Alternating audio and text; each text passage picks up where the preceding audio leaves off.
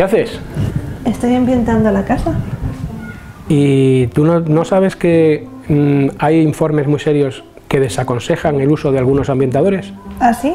Sí, porque hay en algunas ocasiones en ellos sustancias que pueden afectar negativamente a la salud.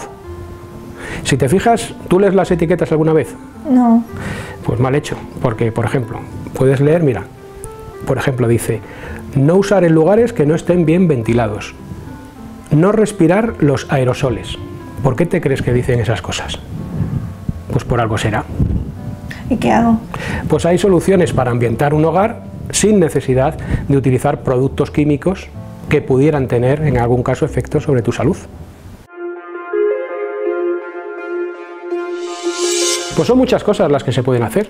De sentido común. Por ejemplo, en lugar de tratar de disfrazar un olor con otro olor y encima un olor químico, eliminar la fuente del olor. Buscar cuál es la fuente del olor y eliminarla.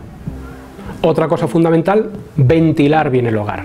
Un hogar bien ventilado eh, evidentemente no necesitará eh, que se usen ambientadores naturales o artificiales, porque ya olerá mejor. Otro asunto es, por ejemplo, absorber los olores. Se pueden establecer bandejas con bicarbonato, cosa que muchas personas hacen ya en las neveras, pero que se puede hacer con bandejas por bicarbonato en distintos lugares de la casa que absorban los olores. Utilizar también aceites esenciales, siempre que sean absolutamente naturales, ¿eh? de distintas plantas aromáticas que pueden repartir un olor eh, bueno por el hogar. Hervir clavo, canela u otras especias que también difunde un buen olor por toda la casa. O, por ejemplo, establecer, colocar ramilletes de plantas aromáticas en distintos puntos del hogar.